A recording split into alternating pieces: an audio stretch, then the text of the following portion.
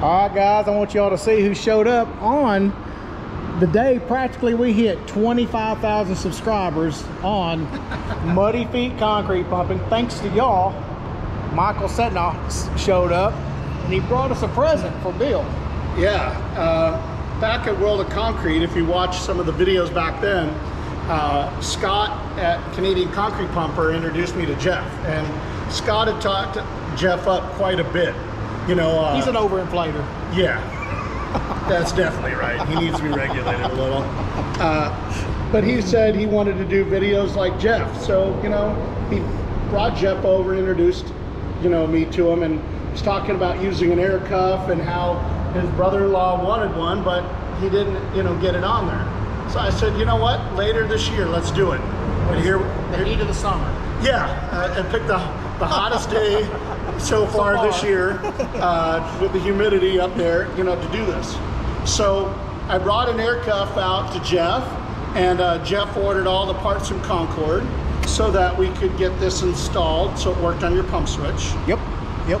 And uh, and you hooked up some of the plumbing, uh, some of the air, but you and I worked on, or you know, we're going to work on some of the other stuff, you know, to get her done. Yeah, yeah. Because there, there are some appliances that go along with it, and actually, Bill does know that this is coming because Bill and I uh, had a rainy day the other day, and we actually started plumbing because you do have to have an air source, and we come off the auxiliary tank right here, and you can see the quick connect I did with a hose right there, or Bill and I did, and then we ran it up through here and into the cabinet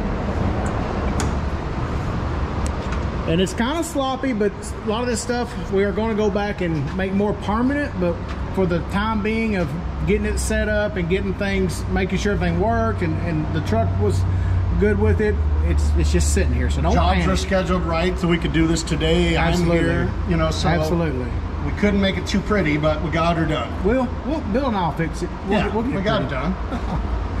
but but here's the hose coming from the auxiliary tank and then to our regulator correct Regulator, yeah. and we've got it set at 60 psi is that Six- that's, is that the yeah. range we're, we're Yeah.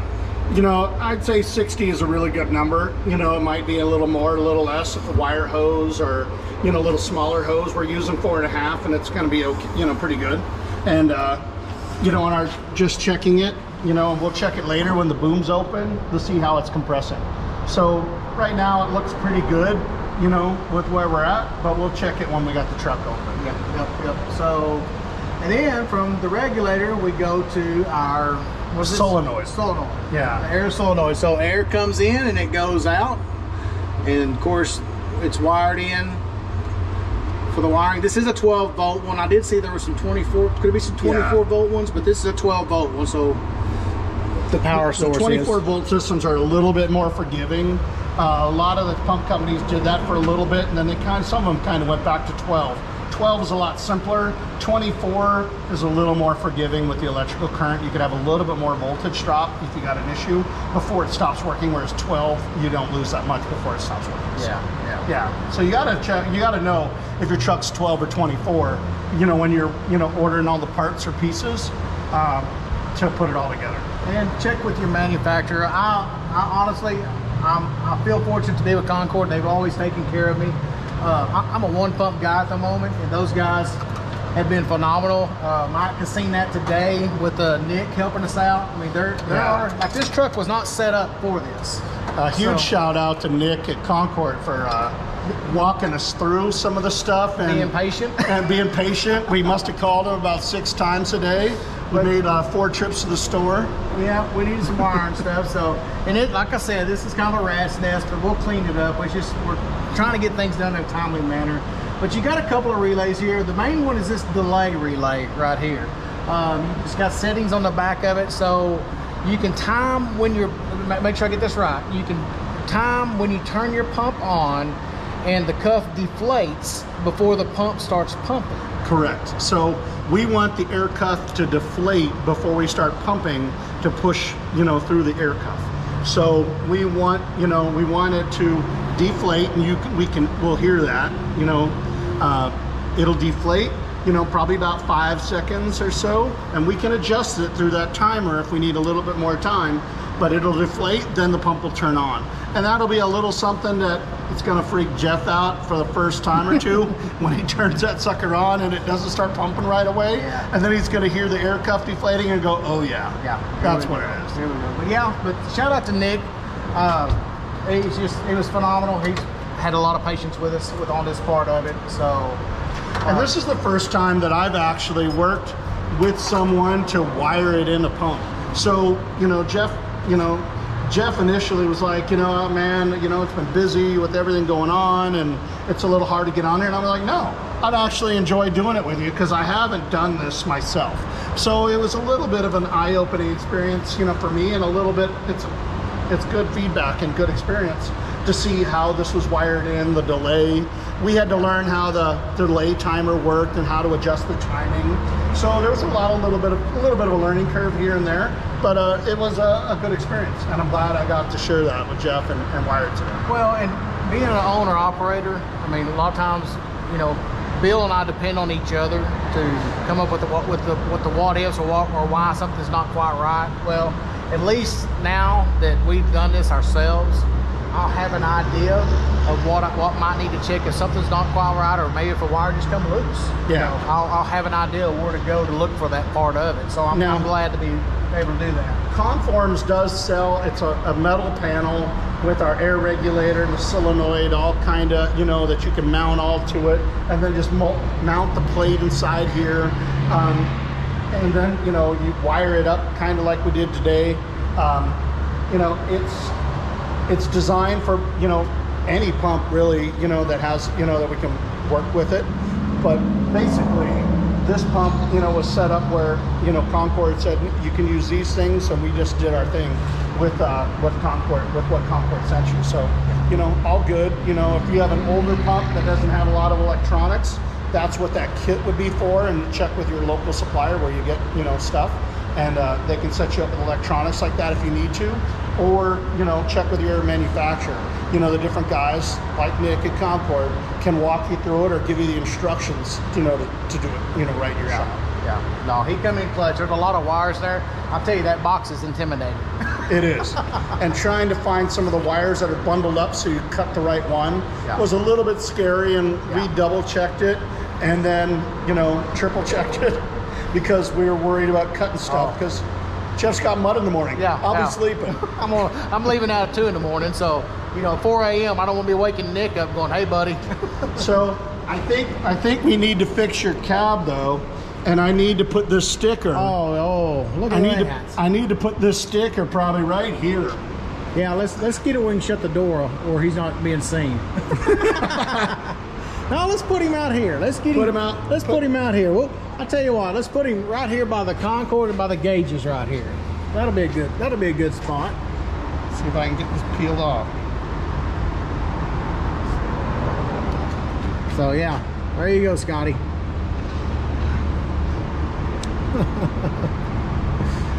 oh, And I'm going to leave you with one. So you've got one to put on your hard hat or something right. if you need to. Absolutely. Or uh, on Bill. Get absolutely, Bill. absolutely, absolutely. All right, Mike. So we're we're connected up. Yep. We got our hose connected. We kicked the, the truck on. Safety straps. Got our safety straps. Yep. And We can see it when it's inflated here. We want to use the lowest amount of air pressure we can. Uh, right now our regulator's set at 60. We can see we're getting a pretty good compression on this hose. We want to use the lowest air pressure we can uh, to kink the hose. It might need a little bit more with wire hose, a little less with fabric. Right now it's doing okay. We won't know until you're pumping concrete with it, you know, if 60 is gonna do it. But uh, that's an easy change. You know, you just going in there and, and adjusting the regulator. So it looks like, you know, when we turn on the pump on and off, we can watch that inflate and deflate. So we're doing pretty good there. Uh, right now the pump's off, so it's uh, it's inflated. So you're gonna give her a little throttle and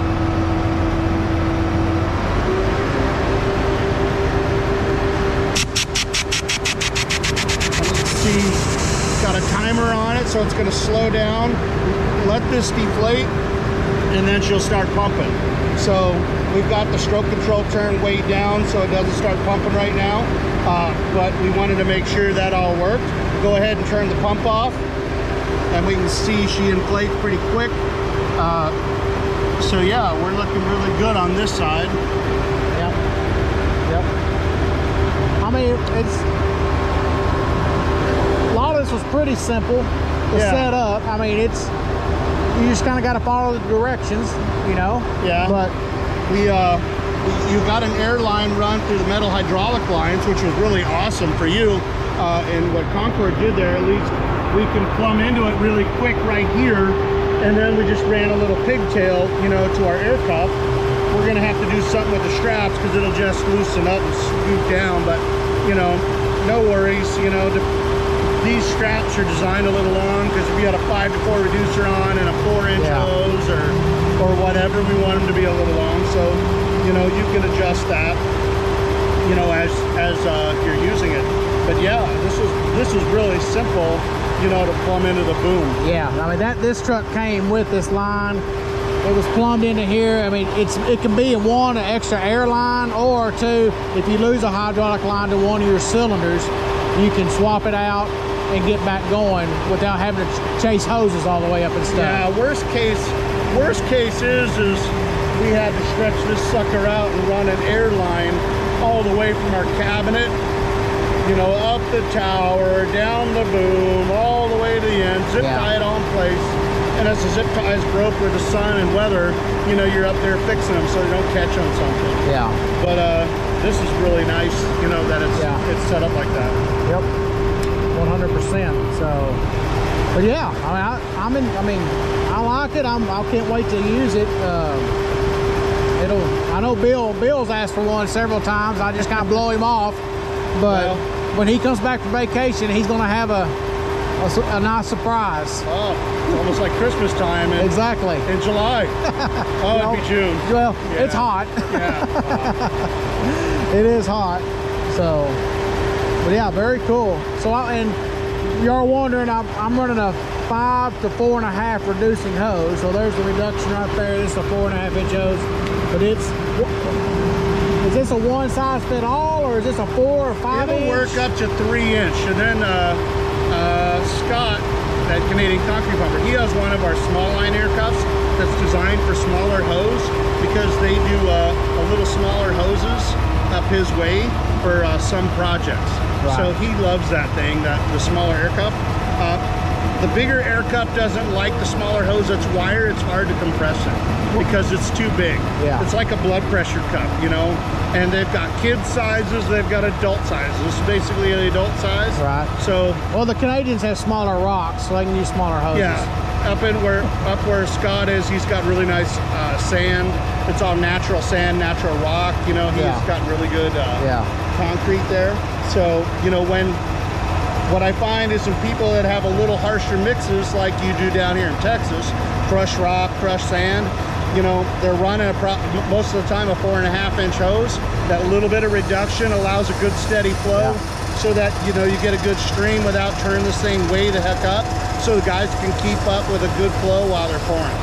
So the four and a half inch hose is really common in areas where the mud's a little rocky and a little nasty. Okay. Well, good deal. Well, this is great. This is great. Yeah, I think I think we're good to go here. So folding up, I don't have to worry about anything. It just, Well, I mean, the first couple times you put her to bed, we're gonna have to see where this flops out of the way. Yeah. Does it flop into something that causes you a little grief? You know, maybe we got to trim it up a little bit. You know, uh, some guys take this air cup off. The good thing is that this thing only weighs eight pounds. It's super easy to take off and put back on, throw it in your cab. It's not a big heavy monster. Some of the ones on the market are metal. Some of them are vulcanized rubber. They're heavy, they're bulky. Um, we talked about it, but not on your video, that this bladder inside can be rebuilt. Uh, on the other side, there's some plates or some bars that press the uh, uh, bladder closed so you can rebuild this fully you know while you have it uh, so as long as it doesn't get too beat up, you can just keep rebuilding it. You know, we've got this patented now, and uh, uh, we sell a lot of them every year. Yeah. You know, rebuild kits, air cuffs, because again, some of the guys are like, I'm not putting that air cuff on. It's too heavy. It's too hard to get on. Well, this is super easy. Sure. Eight pounds. You know, there's no complaining. Even from Scott, who's got six-inch guns. Yeah. Oh yeah. Yeah. So, you know, and we put the quick connect here, which is a good idea, you know, that you had, so we can just take the pigtail off. If you're doing something a little weird and we don't want that thing flopping around, we just disconnect the airline and get it the heck out of our way. Yeah. Which I really love that idea too. Yeah, yeah. Well, and also, I mean, if you ever need to blow your blow your boom out from the opposite way, Well, well, that's a good point. You got air we here. got air right here. Yeah. So I might want to adjust my regulator if I need more pressure for whatever reason, but Right. it's just right there in the cabinet. I'll show you in a minute. You just turn it and watch your valve or watch your needle go up and down with the pressure that you want. And like you said, we got it at 60 right now. 60 ought to be more than enough to blow the boom out. I mean, I blow my system out with about 30, 40 psi. So 60 ought to be more than enough, but you never know. You may want to put more to it to start to It's get important to remember, and I say this in a lot of my safety discussions, if we can't pump out the plug, we can't blow it out with air. Our pump is capable of doing around 1200 PSI. That air compressor is only gonna do 120. Yeah. So our pump is 10 times stronger. So if we can't pump it, we can't blow it out with air. We gotta figure out where the problem is and then go from there. Absolutely. If it's still, you know, maybe we had a problem with our, our pump or mechanical thing, yeah, the air Yeah. is going to do a really good job. But if we're plugged, it will not blow out air. We're, you know, we got to find the problem and then clear it, and then we can blow out with air. It's a super safety, uh, important safety tip. That's a good, Yeah. good one, good one. So yeah. So anyway, we've got that connection there for that. So there's how that fits together.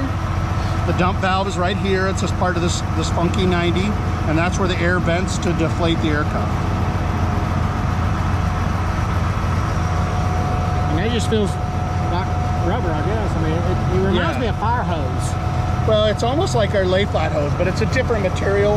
You know that can that can expand and contract. Yeah. But overall, this has been a huge success for us. I look forward to be able to use it, and I know Bill will too. So we've we've had some jobs in the past and videos in the past that that would have been amazing to have. and I'm looking forward to watching some of your videos where you're using it, and and then you, I want you, I want you to take the camera and go, thanks, thanks, Michael Conforms. Yeah, exactly, exactly. you saw us check it out and everything. It it just worked like it's supposed to, you know. Um, I can't wait for Bill to get back from vacation and we'll he can go try it out. Yeah, and congratulations, Jeff, for 25,000 subscribers. Well, thank you. Yeah, no, Thank I, you very much. when I saw that shout out from Scott on that, I was just like, wow. yeah, I, And uh, you guys do a lot for the pumping industry, and that's why I'm here today, you know, and and uh, hooking you up with an air cuff and doing this with you because, you know, you guys teach a lot. You show these guys, you get them a little less intimidated to do some of these things. And, uh, you know, I appreciate it. It makes the industry safer and better. You guys do a hell of a thing. Well, it's it's enjoyable and it's uh it's it's nice to to get some notoriety for doing what we do and, and you know not that we're just trying to be fame hogs or anything. No. Um, it's it's we do show our real life struggles out here. So Yeah. you know we're we're we are human and we are approachable too. So if you see us, email us, may leave comments. Yeah. Uh, you can come to our live streams. Hopefully, we'll get Mike back soon for one of the live streams. Uh, what a what a fun deal! YouTube's been fun for me. Uh, like I said, we appreciate the guys that have subscribed and helped us out. If you hadn't subscribed, it's greatly appreciated. It doesn't cost you a thing, and it means a whole heck of a lot to me. And other guys like Scott and then Darren and Caleb over on their channels. So y'all check them out. Make sure you subscribe to their channels. They're doing a lot of the same stuff we are, just a different area and maybe a different, little bit different culture. Who knows? So And if you have anything you guys want them to see or, or do, you know, throw it in the comment section. Yeah, I mean, not that, you know, they'll get to a lot of this stuff, but it's something that they can work on. You know, maybe they can work on a, a little video or a little shout out to somebody somewhere that wants a little bit of extra knowledge or a little bit of help somewhere. I think that'd be awesome. absolutely, absolutely. I ask for help. You know, I'm like, what do you want me to do? You know, for safety training sometimes. Well, So- and also if y'all have any questions or comments about the aircraft, cuff, what we went through, things like that, Uh, if, if Mike doesn't see the comments, I'll make sure I forward it to him and get you an answer for that. And then hopefully on our next live feed, we'll bundle those up and then we'll bring those comments out to the live feed and we'll let Mike answer those comments live for you too. So just be watching for that. But don't. But like I said, just leave if you know if you have questions or anything that we went through, go ahead and leave it in the comments, and we can try to answer them as best as we can. Especially what's fresh on my mind. But it's always good on I'm looking forward to seeing the live video of Jeff using the air cuff, you know, or Bill, one or both of you out there doing if, it. if, if Jeff's doing it, then something's wrong. We got to have Bill. well, let's take a look at the air cuff on the while it's folded up. That way, y'all can see how it looks while it's folded up. And it's it is out of the way. We had to adjust it when we did fold the boom up and slide it down a little bit because I do have an arm bracket right there for the fourth section. But we was able to get it to slide down and, and clear that where it wasn't pinched or riding against each other while we're going down the road. So we, yeah, it'll take a little adjustment. The straps are really long, you know, so we can adjust it. And uh, when we get it out, you know, outside and kind of open it up and check it out and make sure it looks like it's in a good spot, you know, we'll kind of see it and you'll make some adjustments when we get there or when you get there. So, but anyway, well, Mike, thank you, sir. Thank Thanks you for making much. the time. I came No, all the way here. I'm glad we could do this and that uh, everything was worked out. No, thank you very much. That's that's uh, that's, that's that's big for us. It's nice to have. It's a nice it's a nice addition to this truck. So, I want to thank you very much for for coming out and spending your time and doing that for us. Yeah, no worries. And don't forget, that's Cuts at Conforms. They can look at the Conform website. I'll leave you a link to the Conform website in the description of this video. So if y'all want to click onto it, they can go over and, and find the catalogs and all the different things that Conforms has. We've worked on our website. It's changed a couple times in the last couple years. Uh, so yeah, the link will be awesome. Okay. So don't forget to get a hold of them. But anyway, that's it for today. We're going to go and try to find some cool air conditioning because it has gotten hot and humid as the days progress. So we're going to get out of here. But thank y'all for watching. Don't forget to lock the hubs in, stay safe, stay hydrated, and uh, we'll check you on the next one. Thank you guys.